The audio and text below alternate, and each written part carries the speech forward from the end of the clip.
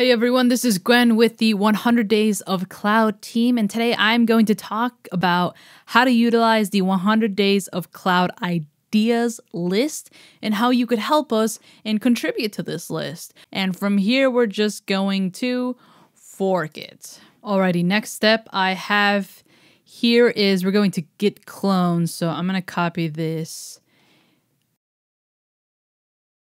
We're going to hop back into the official repo and grab the URL here. Head back into the terminal, git remote Nashby. And as you can see, we don't have an upstream here. All right, this is going to enable your local repo to stay up to date with whatever changes happen to 100 Days of Cloud. All right, so back inside of your 100 Days of Cloud ideas in github.com, there's a little bit of information here which says how we can contribute to this project. The first bullet list says you can propose a cloud project by opening a ticket. So let's open that up. Now, we have to fill in some information. It looks like we need to provide a category and a provider and a title. So let's go back into the repo and see what categories we have. And you can also submit a category that isn't in here. We would be happy to, to edit, to add, to remove anything really. So feel free to submit whatever you feel is appropriate. All right, so I'm just gonna select one of these in here. Let's see, how about I pick serverless? Let's see.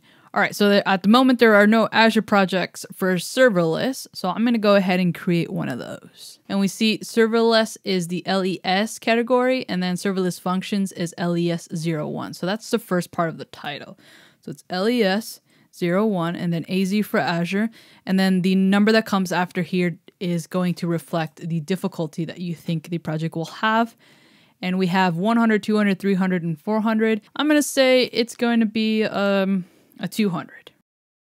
Alrighty, what I will say is let's go back to the category. So, say you have a project that will fit the serverless category and then the less zero one subcategory, but you think it's the same level and the same provider as this one. So, you say you have an AWS project that's a 200.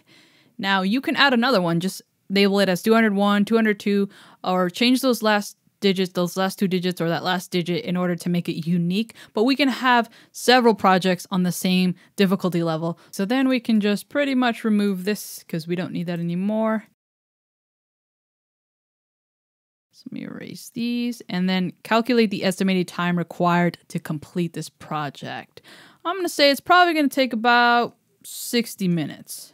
Submit new issue. Perfect.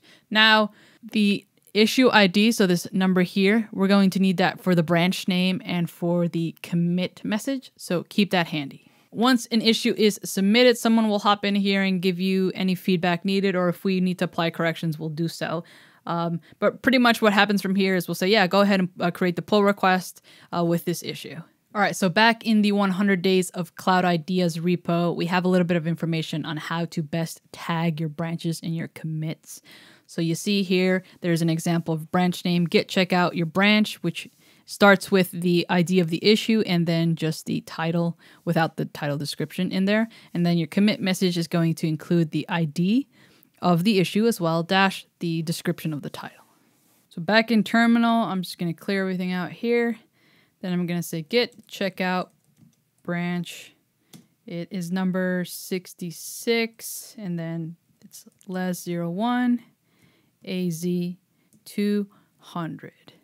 Just going to double check, make sure that matches. Check out 23. Dead. Yes, perfect. We're going to hit that there. Awesome.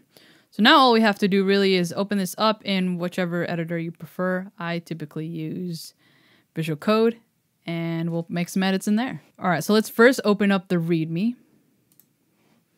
And let's open up a Markdown viewer extension. Let's get rid of that there. Okay, so obviously this is going to look exactly like what it looks like in GitHub. So first thing we have to do is utilize the project template. If you go into all your files and you go into templates, the project template is this one right here. And there's a little bit more information that you have to fill out. You're going to have to provide some objectives that the person will need to complete.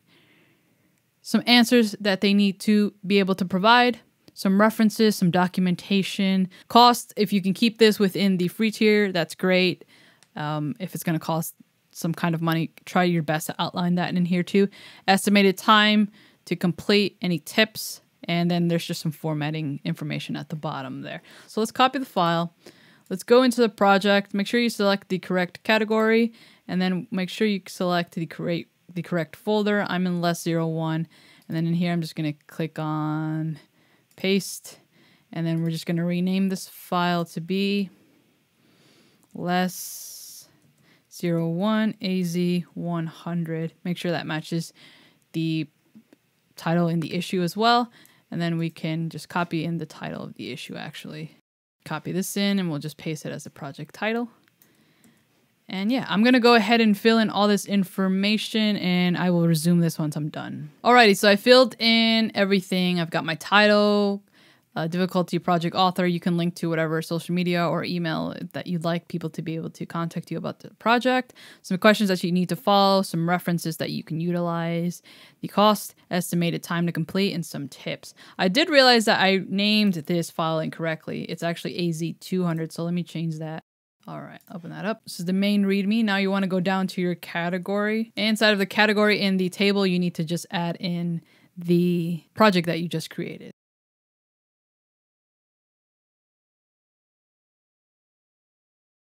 Okay, great. So I've added my project into the subcategory table. Just make sure the project code is correct here. This needs to match your file name. The title needs to match the title of the project and make sure you include your author, your name here. And at the bottom, you can make sure to add yourself to the project idea contributors here. All right, so for your commit message, you need to start off with your ID and then the project name. Perfect. All right, so now we just have to push our changes. Okay, so I am now in 100 Days of Cloud Ideas and I'm going to create a new pull request. And we're going to compare across Forkspace. That's fine. And then we're going to make sure this is mine and select my 66 here. Then I'm just going to hit create pull request. Create pull request. And great, that is pretty much it really. We will have a bunch of volunteers that hop on here and take a look at these and again they can create they can create edits in your um, in your project if there are any typos or, or or formatting issues. We're really just trying to streamline it and, and make it as frictionless as possible in order to get as many projects as we can added to this. And okay, that's it for me. I will see you in the next video.